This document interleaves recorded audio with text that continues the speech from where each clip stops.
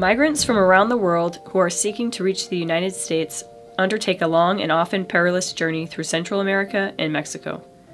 Adding a global pandemic exacerbates the existing dangers.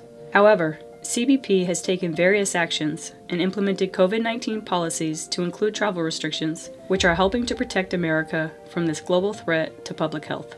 Last year, CBP encountered migrants from 148 countries attempting to cross into the U.S. between designated ports of entry. During travel from countries of origin, migrants are crammed into trains, buses, or any conveyance available to take large and vulnerable populations northbound. Criminal smuggling organizations treat migrants as a commodity and thus pack these conveyances with as many people as possible to optimize earning potential. Their destination? The US Mexico border. And while en route, each migrant comes into contact with various communities, cities, and towns traversed along the arduous trek. While waiting for the criminal organizations to arrange for illicit crossing into the United States, these migrants are packed, once again, into small homes or buildings near the border. These close quarter smuggling methods create disease spreading havens for viruses such as COVID 19. During the journey through Mexico, sicknesses often go untreated and undetected, which is why CBP agents and officers encounter so many sick migrants once they reach our facilities. With mass migration comes overcrowding.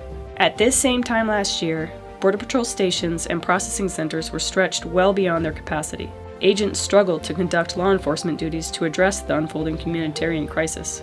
CBP deployed assets from around the country, expanded its medical program, and increased holding capacity to address the needs of the unrelenting stream of illegal immigrants who came into custody faster than they could be processed and transferred out. The medical needs of this vulnerable population are significant. CBP is reliant on local healthcare systems in border communities to provide advanced and emergency medical care. Last fiscal year, prior to the COVID 19 pandemic, Border Patrol alone transported almost 31,000 sick or injured migrants to local hospitals. Even with facility expansions, the use of proper PPE, and additional medical support, our ability to social distance, isolate, and contract trace among migrants and our employees is extremely limited. CBP processing centers were never intended to be used for detention, but rather designed to accommodate short term stays of 72 hours or less. Increased illegal entries leads to overcrowding in these facilities, making preventative measures for stopping the spread of COVID 19 extremely difficult. Transferring migrants out of CBP custody risks overwhelming local migrant shelters, charitable organizations, HHS, ORR, and ICE facilities throughout the United States. Housing migrants for immigration processing during the COVID 19 pandemic would also deal a crippling blow to medical systems in the U.S. border communities.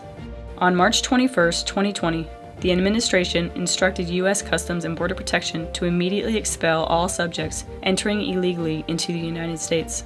The order protected not only Border Patrol agents and CBP officers conducting their vital national security mission, but protected the migrants who would have had to remain in close quarters during their processing. Currently, CBP officers and agents have shifted operations so that subjects can be expeditiously processed in the field. Once processing is complete, subjects are taken to the nearest port of entry for immediate expulsion. Illegal border crossings have declined more than 50%, and hospital visits by individuals in custody have dropped 88%. Most striking is the number of migrants in CBP custody on an average day has decreased by over 97%, from more than 3,000 people to less than 100. The benefits of CBP's actions and policies in response to COVID 19 are simple. Processing individuals in the field maximizes social distancing efforts, and quick expulsion reduces stress on our border facilities, local shelters, and community hospitals. With less individuals in custody, we decrease the potential of spreading COVID 19 to the American public, other migrants, and CBP employees. Public health threats do not respect borders, but CBP is ready.